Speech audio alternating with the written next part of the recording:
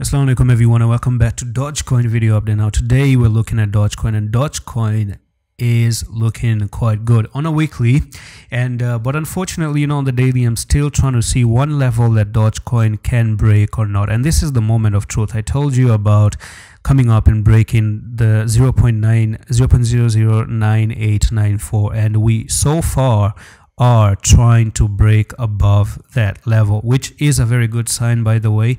And i want to dive into the four hour time frame at the moment and let's see what the four hour time frame actually does suggest. Now if you look at it on the four hour time frame uh, this is what i'm looking for. Actually it's going to be a little bit like that. You are at the perfect resistance right here right now. This is the moment that we get to know where do we go from here? So be because you have this one uh, support there one support here one support right there uh, move sideways broke to the downside came down move up move up move up.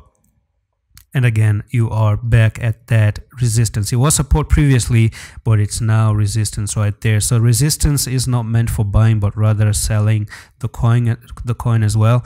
And we do have that little bit of a trouble with uh, dogecoin at the moment because of that one uh, continuation pattern right there. Breakout and you could still continue to go lower.